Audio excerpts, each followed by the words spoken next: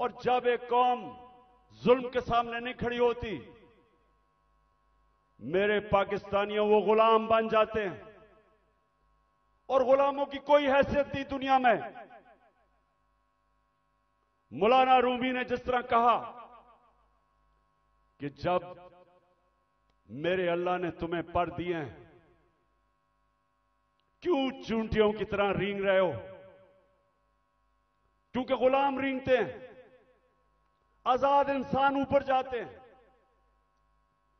इलामा इकबाल, शायद ही मुसलमान दुनिया में इस तरह का जहन आया हो। उनकी शायरी, उनका फलसफा, गौर से उसको अगर आप पढ़ेंगे तो एक बार बार पैगाम वो देते हैं। हिंदुस्तान के गुलाम, गुलामी के अंदर पिसे हुए मुसलमानों को जगा रहे थे। उनको मुसलमानों को याद करा रहे थे कि एक वक्त तुमने दुनिया की इमामत की थी और आज तुम्हारी कोई हैसियत नहीं है। जगा रहे थे उनको।